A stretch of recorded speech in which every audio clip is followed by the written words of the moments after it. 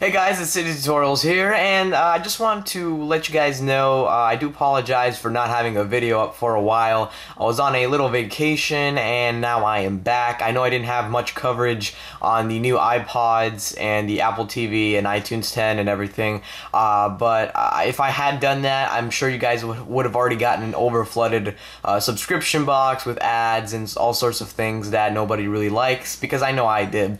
Um, so I just want to put out a quick video today, maybe one coming up tomorrow. Um, but on this video, I'm going to be showing you guys two really cool tweaks.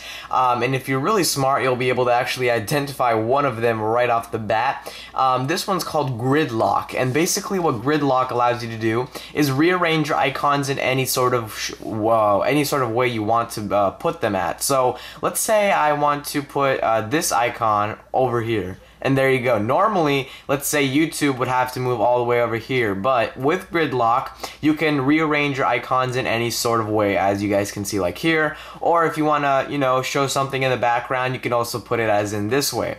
And this works perfectly fine with all devices, including the iPad, so it's a really nice feature that you can use to rearrange your icons, especially if you're a theme maker or anything of that sort. Uh, it's a very handy application, um, and you can also always uninstall it whenever you don't feel like using it inside of Cydia.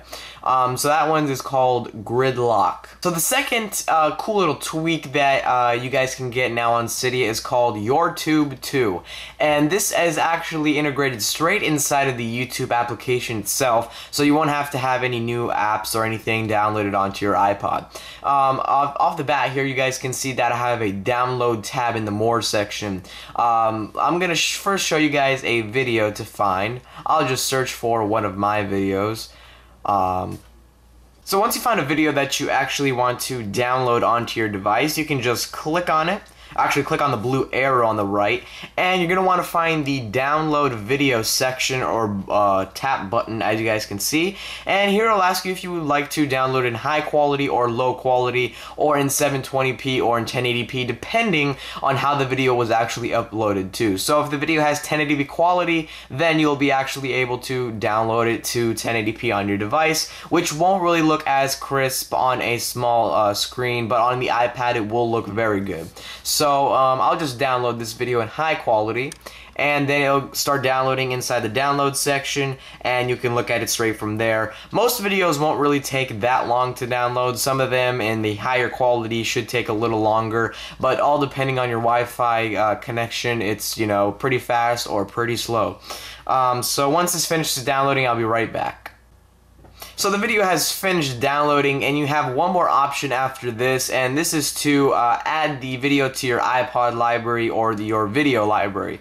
So let's say I, uh, I don't really want this video on my iPod library but I have added this one already to it. So I'll show you guys uh, my videos and you'll be able to see the first video that I have downloaded right there. Um, it's the uh, Love the Way You Lie music video by Eminem. Now, um, one uh, downside to this is that some videos uh, including this one, say that it's actually uh, formatted in the wrong way. So you might get that uh, message sometimes depending on what kind of video you're actually trying to uh, download and watch. So I'm not really sure how that works or if you can get around that in any way or shape or form, but uh, most of them should be able to work just fine. Uh, there you guys can see there's my video right there. So um, that's about it guys for this video. Both of the application names will be inside of the description so you can just search for both of them in Cydia.